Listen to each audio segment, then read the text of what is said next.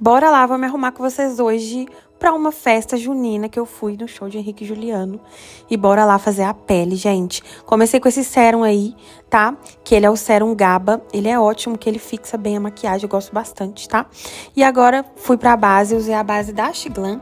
Gente, que eu amo essa base, sério. Essa é a que tem a cobertura mais glow, sabe? Não a mate. Essa base fica linda e ela dura horrores, eu amo.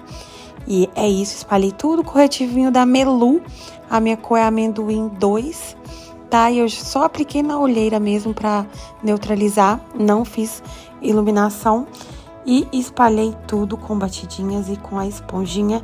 E já vim com contornos e esse corretivo da My Life nesse tom, acho que ele é o último tom, se eu não me engano é o 6, e depois selei já com um pozinho da Mahave dia a dia também.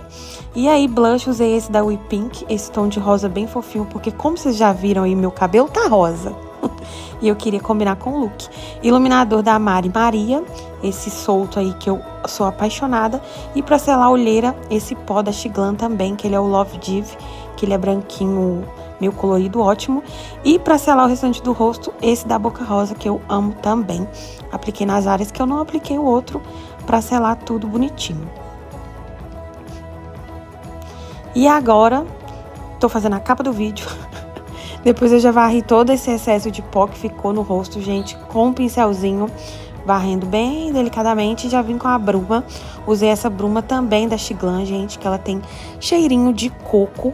Ela é bem gostosinha, depois eu vou fazer um vídeo testando ela com vocês mesmo, mas já saiu aqui no canal. E aí agora eu peguei essa canetinha também da Chiglan, da coleção da Frida, pra corrigir minha sobrancelha, gente, fazendo como se fosse pelinhos ali. E já vim com essa paletinha que ainda vai sair teste aqui pra vocês, da marca Febela. Eu mostrei essas cores aí pra vocês, mas mostrei o cintilante errado. Na verdade, eu usei um rosinha. e aí comecei a fazer meu esfumado, peguei o tom marrom mais avermelhado para fazer ali a basezinha do esfumado.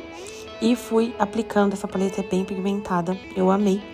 E depois já vim com o marrom mais claro para dar esse efeito esfumado na nossa sombra, esse degradê.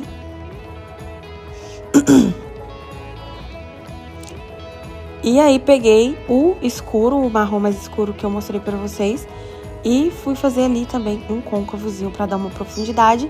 E peguei o cintilante rosa para aplicar em toda a pálpebra.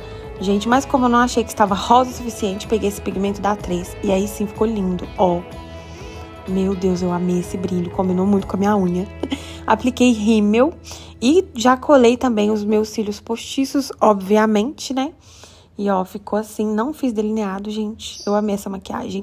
Esse pigmento combinando com a minha unha, com o meu cabelo, ficou tudo. E aí, ó, ficou assim. Vou trocar meu look. Troquei, já voltei pra gente aplicar o batom. Eu peço desculpas pra vocês que essa parte ficou mais escura por conta, né, que já estava anoitecendo. Fiz o contorno da minha boca com esse lápis da Chiglan também. E vim depois com o gloss da Melu. Essa é a cor Pretzel. E apliquei, gente. Eu amo esse gloss da Melu. Sério, eu sou apaixonada. E ficou assim o resultado final da nossa maquiagem, gente. Com esse cabelo maravilhoso rosa, que eu mostrei lá pra vocês no story. Vocês amaram também? Que é uma trança. E ó, é isso. Vou deixar o look aí na tela pra vocês também. Espero que vocês tenham gostado desse Se Arrume Comigo super rápido. Um beijo e até o próximo vídeo. Tchau!